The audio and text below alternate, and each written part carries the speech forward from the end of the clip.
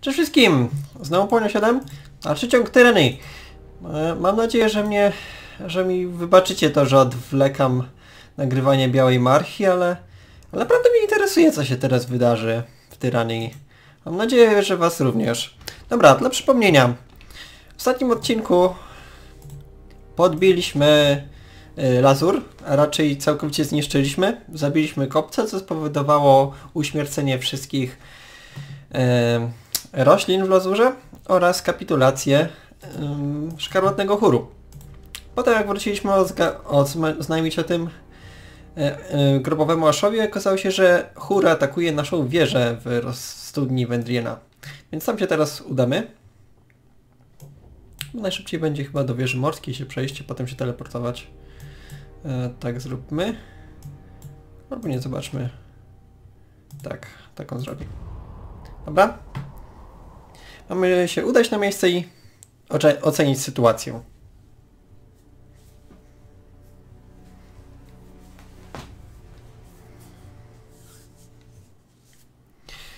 I okej, od razu rozmowa. Witaj stanowicielu. Nasi zwiadowcy zaprzysiężonych os ostrzegli nas o ataku chóru na twoją wieżę, a lord aż nalegał, byśmy zarazu przyszli ci w sukurs. Zebrałam... Traci równowagę, gdy ogromna rzeźba zaczyna dudnić, aż trzęsą się ściany wieży. Okej. Okej, mistyczne urządzenie zadziałało. Ciekawe.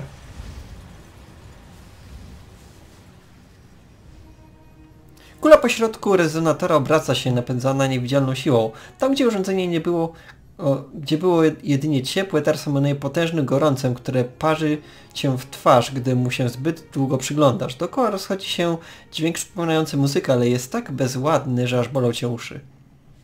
Osłaniając się przed gorącem, Lantry musi przekrzykiwać bezładną muzykę.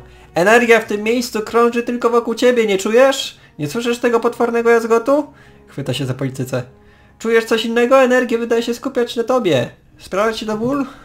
Wieża jest w pełni przebudzona, a jej długo uśpione strumienie energii reagują na twoją obecność.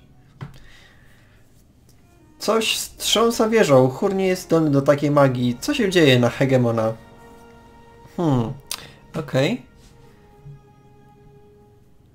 Jakby wieża miała własny rozum, powinienem sprawdzić co się dzieje. Ta twoja magiczna wieża nie może je... Nie ma może jakiejś magii ochrony albo czegoś w tym rodzaju? Niezachwiana odwaga i świetnie wyszkolenie mogą nie wystarczyć w walce z tak licznymi siłami. Okej, dobra. Kiedy przerwałem edykt ognia, ogarnęło mnie przeczucie, e, jak to wszystko działa. Mogę spróbować obwieścić go bez... Huh. Ta wieża wzmacnia mój głos. Krzyknę w dolinę, że mam edykt hegemona. To ich powinno przepędzić.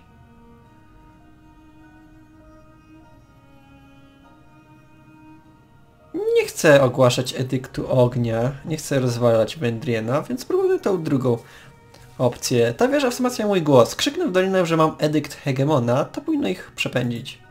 Biorąc pod uwagę przeciętne siły umysłowe i spryt twoich przeciwników, taki fortel może co najmniej przerzedzić ich szeregi. Dobra, quick save i jak mówi nam gra, skorzystajmy z rezonatora. Magiczny szum wieży pulsuje w rytmie twojego serca. Starożytna budowla czeka na twoje rozkazy. Hmm. Dotknij rezonatora i skup się. Co złego może się zdarzyć? Kiedy dotykasz kamiennej budowli, twoje poczucie czasu zwalnia. Całe teraz znajdują się na wyciągnięcie ręki. Wieża czeka w gotowości, by skierować twoją wolę w wybrane miejsce. Huh. Wybierz region, aby sprawdzić aktywny edykt lub wydać nowy.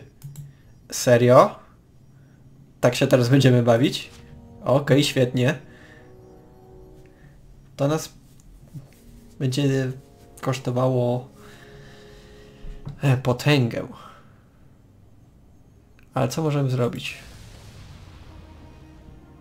Edykt burz stworzy potężną burzę, która pokryje znacz- zaznaczony obszar. Chaotyczna energia spowoduje losowe wybrane obrażenia twoim wrogom podczas potyczki.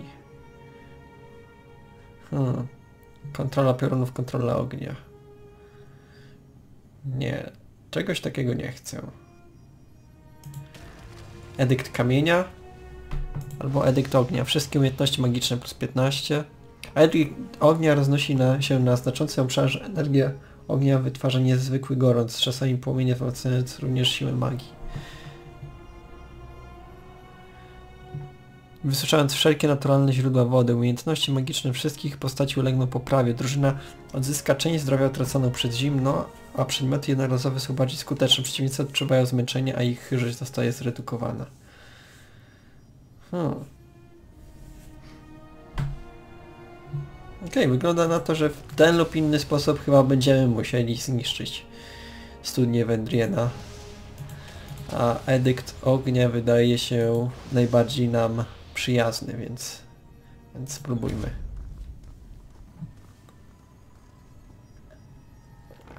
Okej, okay, to zakończyło akt drugi.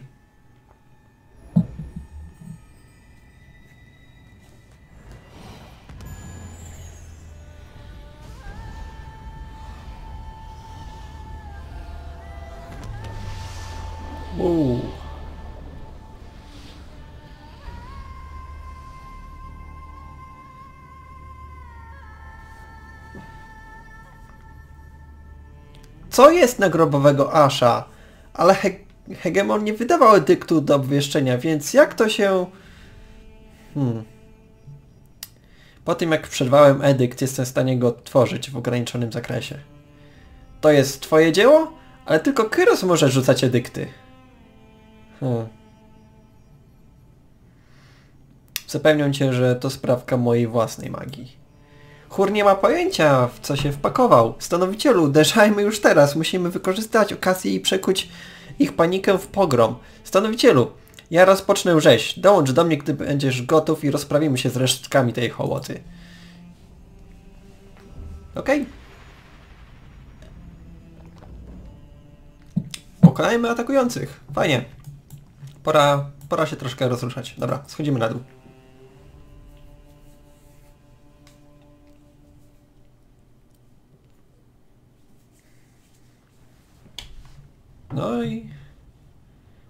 Jest ogień. Podoba się wam chórzyści? Nazwę ten edykt edyktem spalonych chórzystów.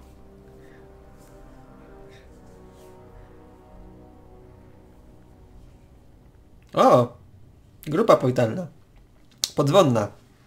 Banda usmolonych sadz żołnierzy szkarłatnego chóru Ciągnie się w ślad za podwonno, wyrazem podziwu i dezorientacji na twarzach. Nie cofniesz się przed spaleniem własnej doliny, żeby tylko nas dopaść? Prawdopodobnie podoba mi się twój styl. Spogląda na siebie na setki uciekających chórzystów. Myślisz, że potrzebni mi byli?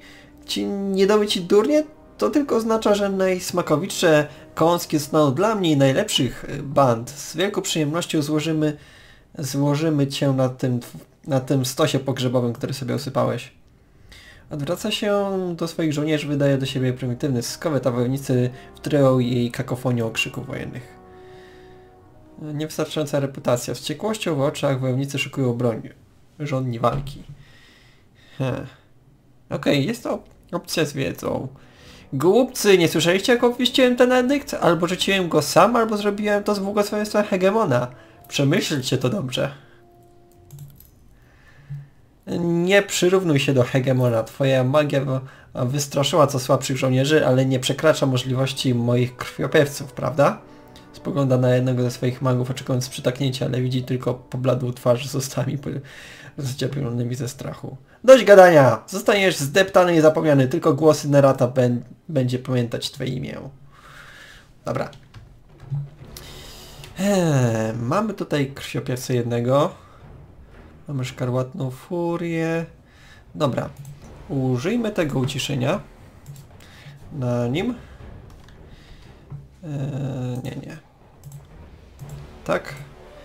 Wy podejdziecie tutaj. Lantry jak zwykle użyje odnowienia. Okej. Okay. Dobra, Lantry rzucił swoje. Teraz celność na barika. Okej, Janusz ich uciszył. Świetnie. Eee, No to teraz pora wejść w środek i użyć wybuchu. Okej. Świetnie. Mocno ich to przerzedziło. No to teraz możesz rzucić yy, złowrogą masę. Lantry rzucił już, to teraz rzuć na zwrotkę. Zamrożenie, fajnie. Okej, ci tutaj bardzo szybko padają. Yy, Barik użył zdolności, ok. Zwrotka użyła zdolności. Przestrach, świetnie. Możemy im tutaj pomóc? W sumie możemy. Okej. Lantry, lantry. Możesz strząsnąć tego gościa. Trochę by nam to pomogło. Przełomienie, świetnie. Janusz Tracz rzucił swoją rzecz. Tutaj gość padł. I ta druga jest ogłuszona, więc zaraz padną. Dobra. To teraz zajmij się tym krwiopiewcą. E, ty również możesz mu pomóc, Lantry?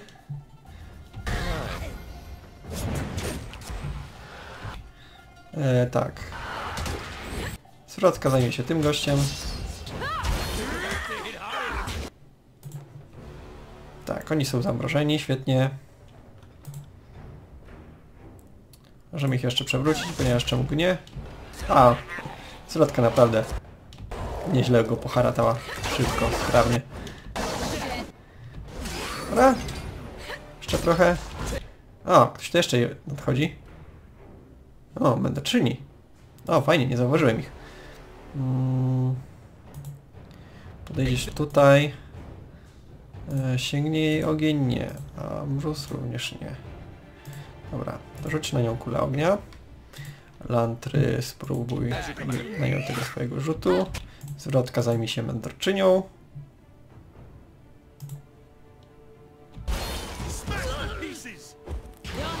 Okej, okay, ładnie. Uderzenie. Świetnie, chociaż to zadaje już ma, dosyć małe obrażenia. Ok, możemy rzucić jeszcze względnie stanowiciela na zwrotkę. A, sama się jeszcze uleczyła świetnie. Okej, no i dobra, wykończamy jeszcze tą mędrczynię szybko. Puf. Świetnie.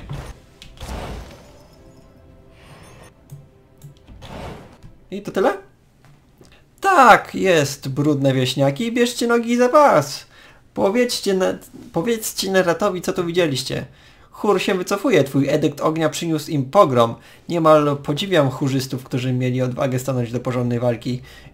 Gdybyż było ich więcej, dopiero zaczynam się rozgrzewać. Oczyszczenie terenu zostaw mniej moim braciom. Ty zajmij swoje prawito miejsce na szczycie wieży. Nie ma lepszego sposobu na delektowanie się zwycięstwem niż spojrzenie z góry na wrogów umykających przed dolinę. Okej. Okay. Drobne obrażenia. Tak, marszałek. To była dosyć jednostronna walka. Marszałek zbytnich obrażeń nie objawia. O, co my tu mamy? Karmazynowa wielka włócznia. Wygląda ciekawie. Czy to schowałem tutaj przez przypadek? Nie, nie wziąłem. Okej, okay. weź to barik. Zobacz, czy to ci się polepszy. Tak, znacznie zwiększa obrażenia na sekundę, celność i zasięg. E, tak, straci na mocy.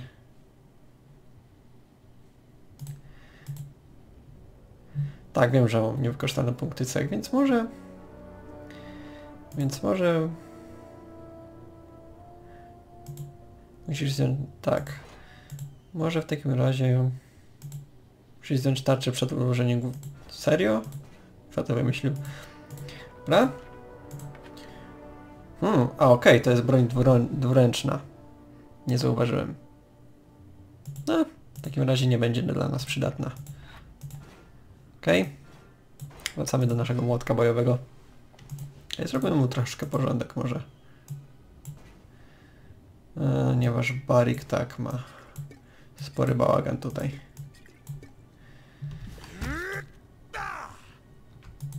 Spokój się, Barik. Okej. Okay. Krab tylko. No. E, dobra, może awansujmy go od razu. Mamy dodatkowe punkty. Tak, dobra. Mm, Co ci daje broń jednoręczną? Finezja oraz moc. No dodajmy mu moc, ponieważ daje mu to również obronę. Później damy mu finezji trochę. Okej. I co możemy? Dziesiąty poziom? Nie. Jeszcze potrzebujemy dwóch punktów tutaj. E, Co możemy? Kiedy Barik korzysta z więzi honoru, wojownik wybrany cel otrzymuje krótki czas tarczę pochłaniającą obrażenia. Hmm, fajnie. Barik pobliscy towarzyszy otrzymał znacznie mniejsze obrażenia. Okej, czym się to różni? Obrażenia minus 10, minus 15. Okej, czyli o 5%, 15, o 5% mniejsze obrażenia, również fajne. Raz podczas potyczki, kiedy zdrowie Barika osiągnie krytyczny poziom, otrzymują na krótki czas znaczącą premię do pancerza. No, również spoko. Okej, najpierw weź, weźmy to, ponieważ pasywne. E, Okej. Pomyślnie odparliśmy atak. No to No jeszcze tu mamy? Chyba nie. No to wracamy, wracamy na górę. Chyba coś się wydarzy. Tak, koniec, koniec, koniec y, aktu. Żołnierze szkarłatnego chóru wstrząśnięci i zniechęceni twoim, twoim pokazem siły oraz łatwością, z jaką pozbyłeś się ich przywódcy, tracą e, rezon i rozbiegają się w panice. Ocaleni przekażą pełne strachu opowieści o potężnym archoncie imieniem Janusz Tracz, który potrafi wydawać edykty równie potężne jak Hegemon. Krainę ogarnia zamęt. Pośród pogłosek i szeptów jedno pozostaje niezmienne. Rzucono wyzwanie potędze Hegemona. Możesz spokojnie założyć, że pogłoski te dotrą do uszu Kyrosa. Pot zalewa ci oczy, kiedy twój edykt otacza wieżę gorącym powietrzem, które opada na całą dolinę. Wkrótce temperatura spada, z trudnej do wytrzymania, zamienia się w niemal znośną. Po paru dniach upał łagodnie wraz upał łagodnieje wraz z rozpraszaniem się twojego edyktu, a z żarem studnia Wędriena powoli odżywa. Zbierasz radę swoich najbliższych sojuszników i razem planujecie kolejne kroki mające zapewnić bezpieczeństwo wam i twojej wieży. Ledwie zaczynacie, a u bram wstaje Kalio, stanowicielka Tunona niosąca ważną wiadomość.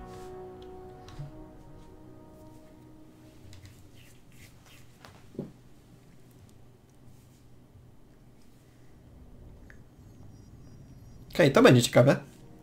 Ciągle słyszę o tej wieżyczce, którą uważasz za swoją. Składziłeś wszystkich, którzy mogliby zająć ten teren, więc nie może już bardziej oficjalnie na należeć do ciebie. Hmm. Czemuż to zawdzięczam wizytę stanowicielki? Masz do obwieszczenia edykt wymierzony we mnie? Nie, to by nie było trochę miłe. Ym. Miło cię widzieć, ale jak się tu dostałaś? Czy to nie jest oczywiste? Ważniejsze pytanie brzmi, jak udała ci się najlepsza imitacja hegemona, jaką widziałeś? Jaką widział Teratus? Nikt nie ma pewności, co z tobą począć, Janusz Tracz. Mówimy, że obwieściłeś edykt ognia. Nie edykt hegemona, ale własny edykt ognia. Własny magiczny pożar. Nie jesteś zwykłym stanowicielem, tego możemy być pewni. Może zbyt wiele razy obwieszczałeś i odwoływałeś edykty hegemona. Gdybym e, przy pierwszym naszym spotkaniu wiedziała, że to potrafisz, może bym naprawdę spróbowała cię zabić. Dla dobra Terratusa mam nadzieję, że ten dar trafił we właściwe ręce. Nie wiem, co o tobie sądzić, stanowicielu. Obwieszczasz i odwołujesz edykty hegemona, zajmujesz te paskudne wieże. Nie powinno mnie dziwić, że rzucenie edyktu jest w twoim zasięgu, a jednak mnie to zaskoczyło. Twoja moc ma charakter nieosiągalny dla dowódców band i magów. Rozkazałeś tej ziemi, by ci była posłuszna i wypuściła na świat coś niewiarygodnego. To nie jest dzieło stanowiciela. Już, jeśli już, to jest dzieło Archonta. Zwierzyca pójdzie za Alfą na krańce ziemi teraz i jeszcze dalej. Zapuści się głęboko na ziemię północ i będzie polować na armię hegemona u boku Alfy. Razem łowczyni cienia i Alfa wybiją całe plemię Primy. Nie mam pojęcia w jaki sposób to robisz, ale nie jest to moc, którą możesz władać, którą może władać uczony. To coś innego. Nie jesteś jakimś ambitnym magiem z prowincji, który nauczył się tego z księgi. Jesteś kimś w rodzaju archonta, któremu przychodzi to naturalnie. Zawsze wiedziałam, że będzie z ciebie urocze utrapienie, ale nie sądziłam, że masz sobie coś z mocy hegemona. Dlaczego mi nie powiedziałeś? Okej. Ech, Naprawdę nie wiedziałem, że mnie na to stać. Nie wiedziałeś, czy, za, czy zadziała, ale postanowiłeś zabawić się magią o sile, która mogłaby wywrócić góry? Moje zaufanie do ciebie rośnie, stanowicielu. To naturalne, że miałeś wątpliwości. Edykty zawsze były wyłączną domeną hegemona. Gdyby ktoś twierdził, że potrafi rzucić edykt, to uznano go za wariata, a jednak zdrowy na umyśle człowiek, przyglądający się temu, co właśnie zrobiłeś, usłyszałby w, w twoim głosie moc hegemona. Ciekawe. Chyba nie masz powodu zgrywać idioty. Jakkolwiek zdobyłeś tę moc, wiedz, że zwróciłeś na siebie uwagę hegemona, więc gratuluję. Chyba to nie jest rodzaj uwagi, na który chcielibyśmy zwrócić na siebie, ale dobra, dziękujemy. Dobra, przynoszę rozkazy prosto od hegemona. Kali otrząkuje, a jej głos staje się poważny i surowy. Hegemon wydał dwa dekrety. Po pierwsze zarządził, że jeden i tylko jeden archont może rządzić w terasach. W związku z tym archonci mają rozstrzygnąć walką na śmierć i życie lub podporządkowaniem się, kto jest jedynym archontem godnym odziedziczyć terasy. Hmm. Okej. Czy archonci zostali o tym powiadomieni? Wszyscy oprócz jednego. Kalio macha dłonią, a ty wyciągasz rękę, by złapać niewielką broszkę w stylu insygnium Hegemona. Hegemon mianował cię najnowszym archont... O, fajnie. Jesteśmy archontem. Więc pozostali archonci mają teraz rozkaz unicestwienia lub podporządkowania sobie ciebie i vice versa. Widzisz? Właśnie dlatego unikam zwracania na, na siebie uwagi hegemona. Hmm. Okej, okay, pozostali archonci muszą cię unicestwić lub... Tak, właśnie, tylko jeden archont może władać w terasach, więc... Nie brzmi to ciekawie.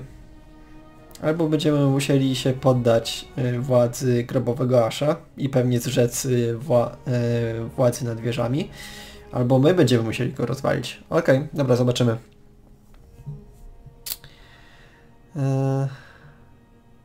Dla jasności to rozkaz Hegemona, ale nie edykt. Zgadza się, ten rozkaz nie jest podparty edyktem. E, taka zachęta nie jest potrzebna. Kiedy w samym zadaniu kryje się nagroda, Hegemon po prostu uchylił kodeks. Archonci mogą się zabijać i okaleczać bez łamania prawa.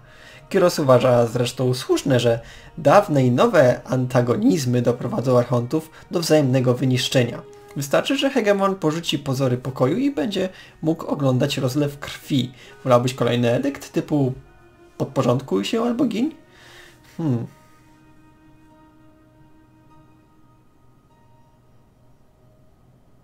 Okej. Okay. Ciekawe. Działam w ścisłym sojuszu z grubowym aszem. Rozkaz wszystko skomplikuje, oględnie mówiąc. Zważ, że dekret zakazuje nakazuje wszystkim podporządkować się jednemu archontowi lub zginąć. Więc ty i Ash nie musicie się koniecznie brać za łby. Ale nie wiem jak go przekonać, żeby cię, e, żeby ci się pokłonił. Co z sądem? Słyszałaś co sądzą o tym Tunon i Bla Bladen Mark? Tunon jak zawsze okazuje tyle uczuć co Pumex, ale Bladen Mark był niemal wesoły. Stary cień już chyba wybiera ofiary, ofiary dla swoich sztyletów. Zastanawiałem się, czy Bladen Mark usłucha rozkazu i zaraz zadźga Tunona, ale nie. Wygląda na to, że Archontowi Cieni jest e, dobrze w służbie Tunona. Jest w tym sens. Stary Cień nigdy nie sprawiał wrażenia żadnego władzy. Nim też będziesz musiał się zająć i bardzo się boję, co z tego wyjdzie. Sądzę, że Tunon jest zbyt lojalny, żeby ci się pokłonić, a Bladen Mark zbyt dumny, żeby uznać cię za lepszego od siebie. Nie ma sposobu, żeby to się dobrze skończyło dla, dla niektórych z nas. Hmm.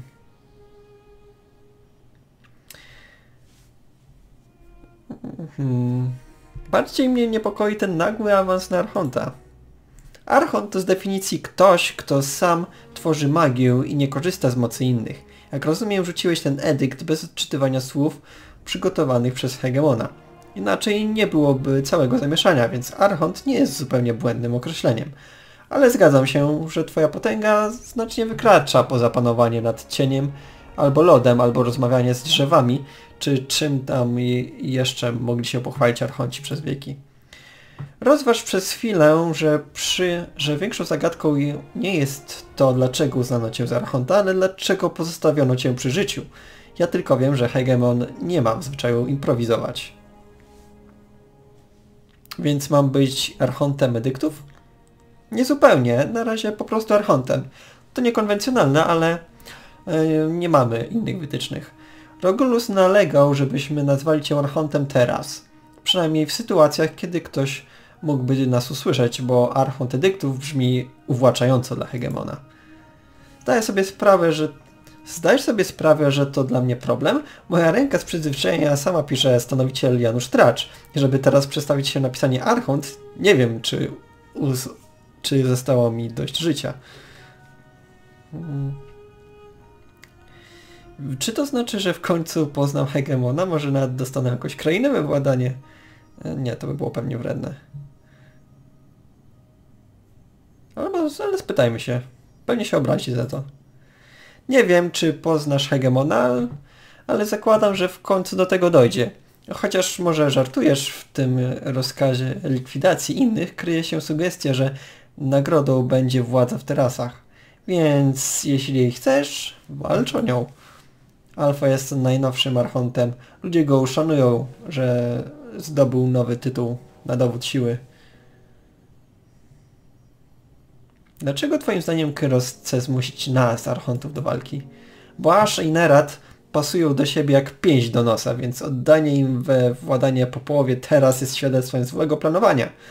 Bo po terasach nie zostało już nic i po podbicie, do podbicia i Kyros nie potrzebuje tylu generałów? Tunona nie ma, Tunona tu nie ma, więc y, mogę Ci swobodnie przypomnieć, że Kyros nie jest szczególnie kochającym władcą, Archonci są pionkami, których można się pozbyć, a nie ukochanymi poddanymi. Kraina została podbita, więc czemu nie pozbyć się podbijających? Dodam do, do tego, że Kyros nienawidzi wszystkich archontów tak samo, więc zamiast nakazywać zgładzenie wszystkich oprócz jednego, pozwoli najsilniejszemu zasłużyć sobie na prawo do życia. Hmm. Dziękuję za dostarczenie wiadomości. To wszystko. Na początek musisz pozostawić E, postanowić, że nie ugniesz się przed żadnym z archontów. Życzę Ci szczęścia w nadchodzących wysiłkach. Wiedz, że kiedy ruszysz na Bladena Marka, Marka i Tunona, ja i inni stanowiciele nie będziemy się wtrącać. I z innymi stanowicielami zastanawialiśmy się nad czymś. Dasz radę to powtórzyć? Nunowal w Ciebie wierzy, inni, inny, którego imienia nie wymienię, przynajmniej bardziej cynicznie stano... Przyjmuje bardziej cyniczne stanowisko, że Kyros wytknęła ci rękę w tyłek tak głęboko, że, przy, że może ruszać twoimi ustami. I nie dałbyś rady rzucić drugiego edyktu. Nie życiem wzrokiem od stobulów. Ja uważam, e, że cię na to stać, albo przynajmniej podoba mi się pomysł, że kiedyś mogłabym obwieścić twój edykt. Hmm. Okej. Okay.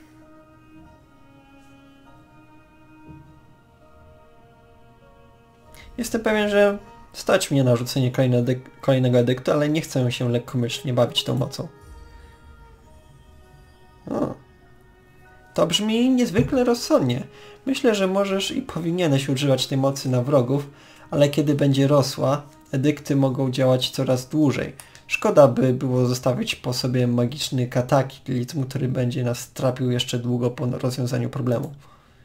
Biorąc pod uwagę straszliwe szkody, jakie wyrządzisz, jeśli zrobisz coś nie tak, nie dziwię się, że jesteś ostrożny. Um, Skinąwszy głową, Kalio ruszyła w stronę wyjścia. Kiedy będziesz rządził Teratusem, znajdź mnie. Jeśli, cię, jeśli ci się powiedzie, będę potrzebowała nowego zwierzchnika. Jestem w zasadzie trzeźwy, ale tak na pewności. Właśnie wydałeś edykt, zgadza się? Najpierw rzucasz własny edykt, teraz ruszasz na wojnę z archontami. Cały ten rozdział kroniki czyta się jak fikcja. Więc Hegemon nakazał wszystkim archontom walczyć, dopóki przy życiu nie, pozostanie tylko nasil... nie pozostaną tylko silniejsi. Chyba możemy uznać, że filozofia szkarłatnego chóru znalazła potwierdzenie. Spod hełmu Barika wydawała się pomruk, którym nie da się rozpoznać słów. A- Alfa wydał na świat własne słowa mocy. Jak Prima, ludzi zwany hegemonem. Jest lepszym mistykiem niż matka miotu zabija w cieniu, niż krew stóp kamiennych tropicieli, niż zwierzę. Zwierzyca Archon zabita przez Marka z cieni. Zabija w cieniu wiedziała, że Alfa jest najpotężniejszym człowiekiem na całych ziemiach teraz. Nos się nie myli. Jeszcze jedno. Przez całe to gadanie o tym, że hegemon z ciebie wcielony, prawie zapomniałam o obowiązkach. Oto wezwanie sądowe od Bladena Marka, skrytobójcy Tunona. Radzę przeczytać je uważnie w ramach przygotowań. Twoje życie może od tego zależeć. Powodzenia, Archoncie. Okej. Kakofonia. Stanowicielu Archoncie. Wielki generał wycofał swoje wojska do Żelaznego Domostwa. Wkrótce rozpoczniemy ostatnie natarcie na Kamienne Morze i serce potęgi Szkarłatnego Chóru. Głosy Nerata jest osłabiony, a droga do kakofonii stoi otworem. Archont wie również, co zaszło w studni Wędriena. Niewątpliwie chce o tym porozmawiać osobiście. Hmm. Natychmiast wyruszę do Żelaznego Domostwa. Zostanę tutaj i przypilnuję porządku studni Wędriena. Wahać się, czy powiedzieć coś więcej. W końcu zdycha i odpuszczę. Uważaj z grubowym maszem. Nie jesteś już zwykłym stanowicielem losu. Spotykasz się z nim teraz jak Archont z Archontem, a to komplikuje nieco sprawy. Powodzenia. Ta. Nie myślałem, że sprawy zajdą tak daleko. Ale wygląda na to, że w najbliższej przyszłości będziemy musieli się pozbyć wszystkich archontów. I to nie chodzi tylko... Tak, i tu nie chodzi tylko o grobowego Asha i, i głosy Nerata. Tu chodzi również o Bladena Marka i o Tunona, co mnie trochę bardziej dziwi. Okej, dobra. Myślę, że pierwsze co się zajmiemy to wezwaniem od Bladena Marka, bo to brz- to brzmi najciekawiej. Potem chyba się udamy do grobowego Asha i trochę mnie to martwi ta wyprawa. No, w sumie jesteśmy teraz, powinniśmy, jesteśmy w stanie wojny, przynajmniej powinniśmy być, więc tak, więc nie wiem jak to się może skończyć. No a później się zajmiemy samym Archontem e, Archontem Tajemnic. E, Ale to już w następnych odcinkach. Póki co dziękuję wszystkim za uwagę i do usłyszenia.